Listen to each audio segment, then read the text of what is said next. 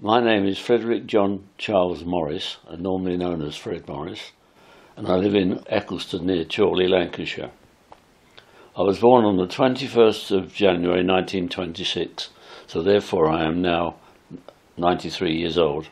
It is August 2019, and I will be talking about my memories and a, and a career in the RAF during World War II. Two of us were sent to the Isle of Man, and we, and we ended up at a camp called Andreas in the north, an airfield in the north of um, the island, which was an air, air, air, air gunnery school. But we were sent there, and we worked. We worked in the stores, just helping out in the stores. I was there for six months or more, and then we came back. Um, uh, on one occasion, while we were at Heaton Park, we said, they said, well, right, I think there were 30 of us, right, off you go, off we go, on a train. This is Saturday morning, we got off at Chorley, Chorley Station.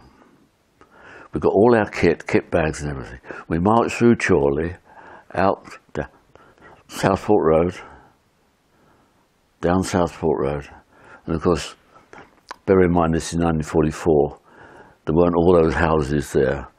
We passed the cemetery,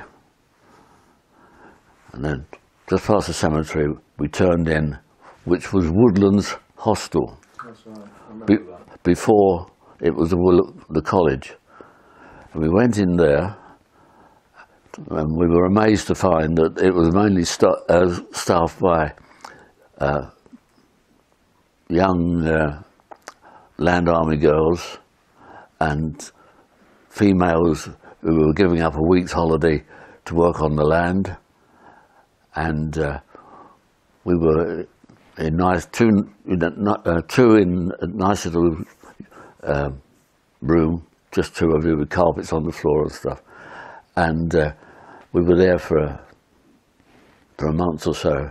We had a ball because we were the only, the only men about and uh, had a good time. So that was my first knowledge of Chorley, and that was the Woodlands Hostel.